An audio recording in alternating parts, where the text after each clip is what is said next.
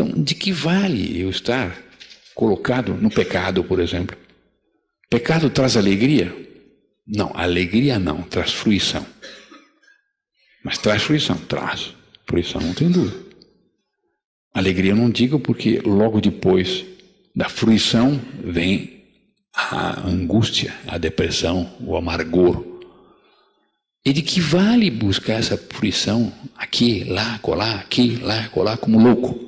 Tanto mais que eu tenho em mim algo que me pede o infinito, a eternidade. Então, de que vale?